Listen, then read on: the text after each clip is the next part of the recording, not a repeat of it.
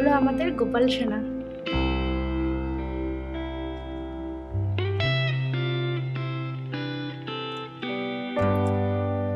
আর আজকে শিব ঠাকুরের পুজো, পুজোর দিন, শ্রাবণ মাসে সোমবার। আর এই হলো আমাদের গণেশ ভগবান।